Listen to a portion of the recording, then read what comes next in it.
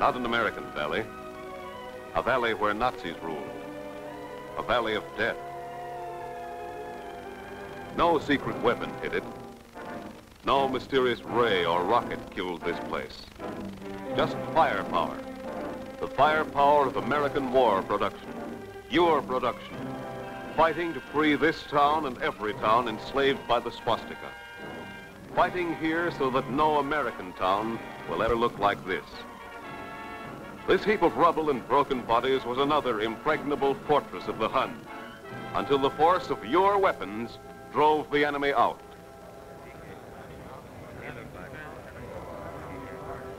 Wrong time for this. Ah, it's that new gun the artillery has. The one just sent over. That's terrific. All our guns are good. You don't have to tell me, brother. I know. Yeah, now you know. But back home you didn't know. You're not kidding. Well, that's what I mean.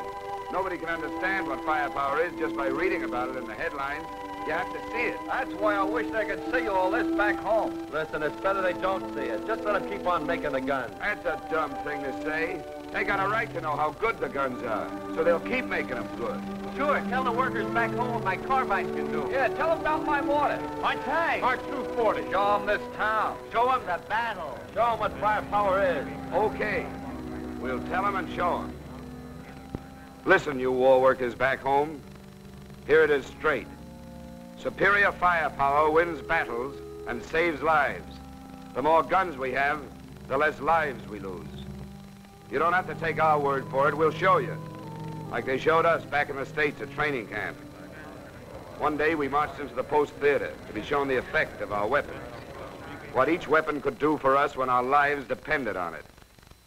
Here's how they showed us firepower. Firepower is the light carbine. That can knock a hole through the helmet of a Hun sniper.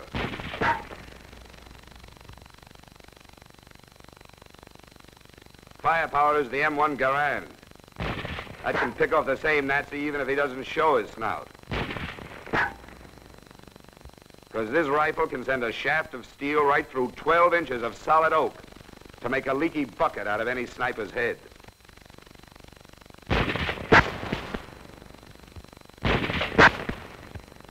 And do the same thing through four inches of concrete wall.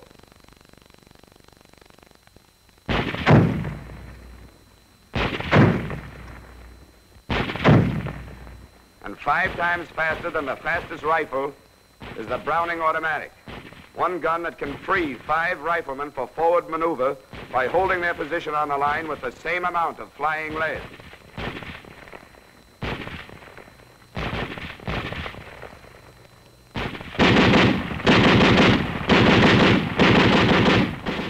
And still faster firepower.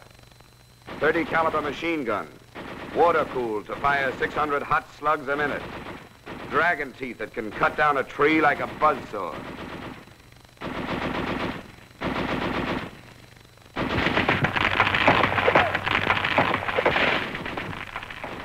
Air-cooled model, 30 caliber. Firepower to splatter a three-mile area like a hailstorm.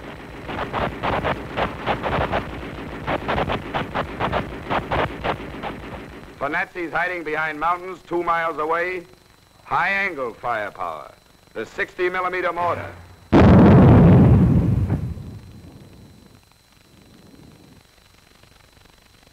Eighty-one millimeter mortar, laying down smoke to blind the enemy and screen our advance, pinpointing 18 hunks of hell a minute.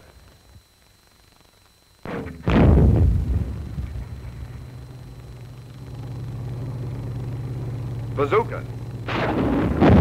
Rocket power to kill a tank. Little poison. 37 millimeter anti-tank gun. The pillbox pulverizer.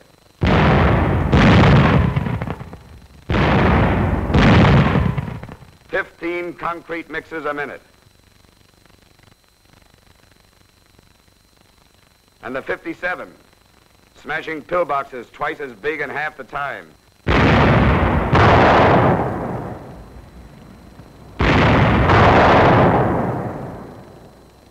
twisting steel and concrete into Nazi tombstones.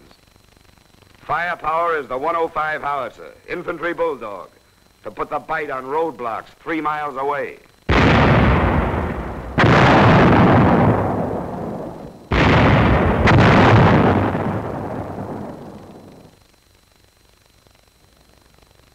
Firepower is Long Tom, 155 rifle, that can lift the roof of a German blockhouse 15 miles away.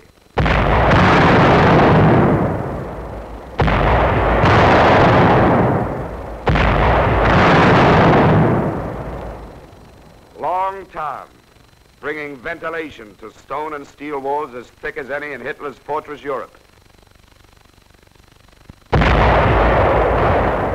Now get over here with us, out of the training camp, over here into the theater of war. This is the real thing. We're heading for action, toting the same weapons over the back-breaking mountains and through the heart-breaking mud. Recognize this one in his battle dress? Long Tom. Looks plenty big with all his attachments, doesn't he? But don't stick your chests out too far.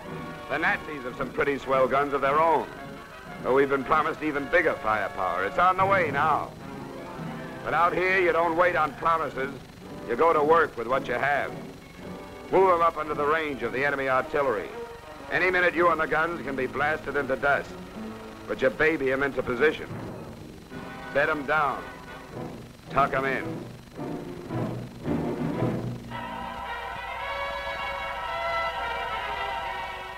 You even give 'em pet names like you're in your own backyard. And all the other weapons move up. 155 howitzer, 75 howitzer, medium tanks, Shermans, packing 50 caliber machine guns and 75 millimeter cannons, climbing a mile up and down for every mile forward. Tank destroyers with 105s and trucks and half tracks, some getting hit. And the rest pushing on, hoping replacements get here in time to keep us up to battle strength.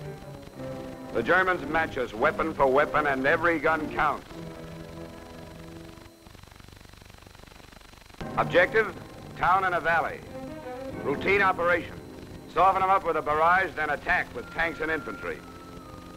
Orders, burn up our artillery to save tanks and infantry. Pay for the town with shells instead of our lives.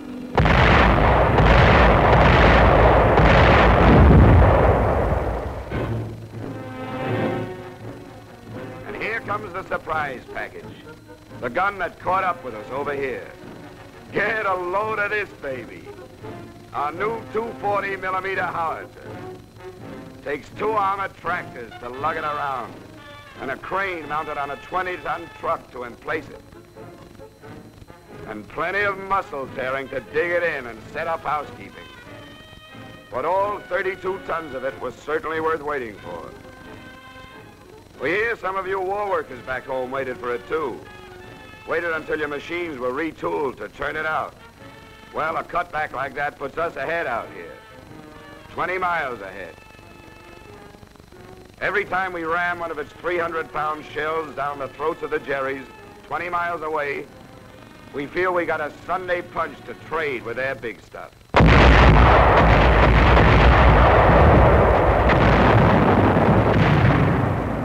The Jerries have orders to hold. We have orders to push. So we push.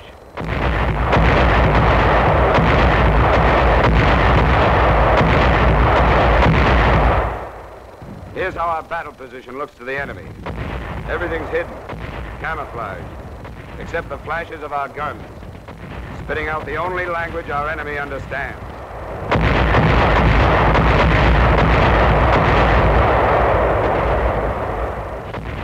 Our tanks and destroyers creep down into the valley, close enough for 75s and 105s to score.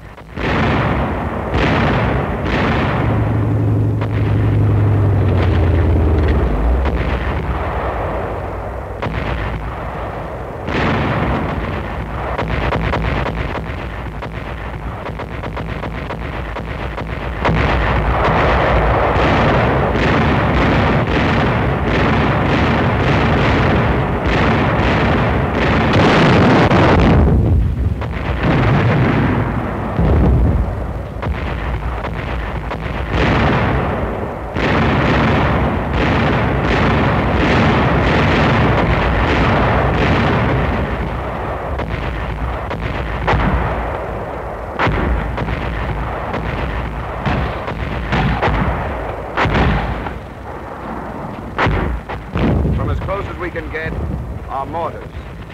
4.2s pound the Jerry frontline positions.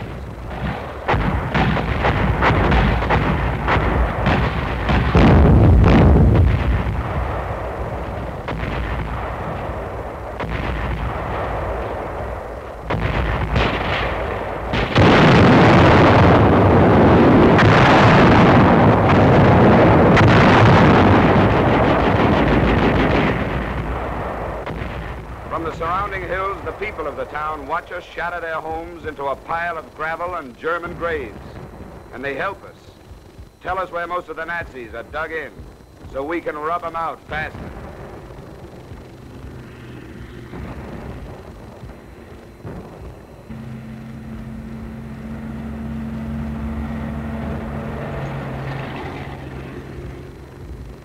Behind our tanks, we move in on foot with rifles and carbines for the close work. We enter the town, what's left of it, with mine detectors, mops to sweep for the bouncing babies and the teller mines.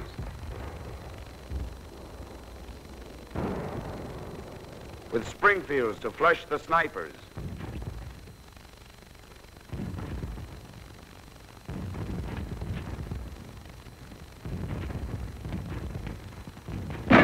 until street by street, house by house, another town is ours. That's firepower. Your firepower. Get what I mean? And then comes the payoff to this battle and every battle. Out of holes and caves, and from their crumpled dugouts, crawl the rightful people of this place.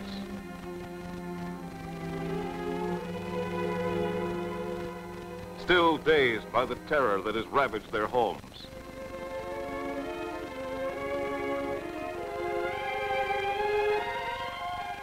Yet even as they mourn their losses, these people try to welcome our boys, offering the wine they've hidden from the Germans.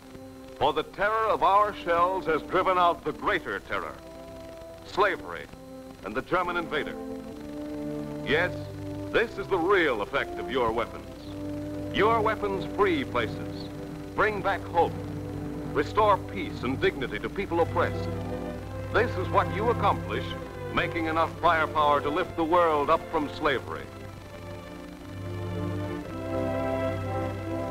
This is the promise of a better world to come. This is the final effect of your weapons.